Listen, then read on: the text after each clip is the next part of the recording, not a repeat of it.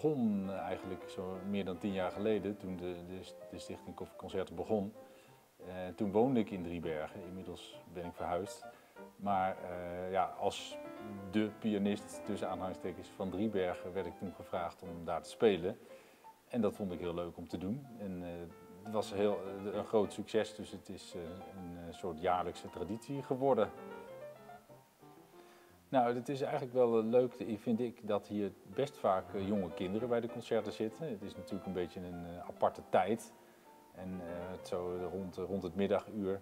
En de lengte is, nou, van een uur is, dat, is ook best een uitdaging voor muzici en publiek. Om, om goed te, te, te, kunnen blijven opletten. Dus daar moet je altijd wel ook opletten dat je het programma zo maakt dat het interessant blijft.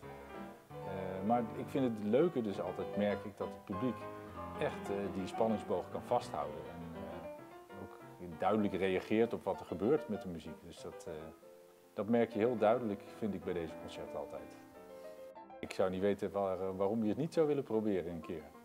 Zo dicht bij huis, een plek waar je hele mooie kamermuziek kan beluisteren.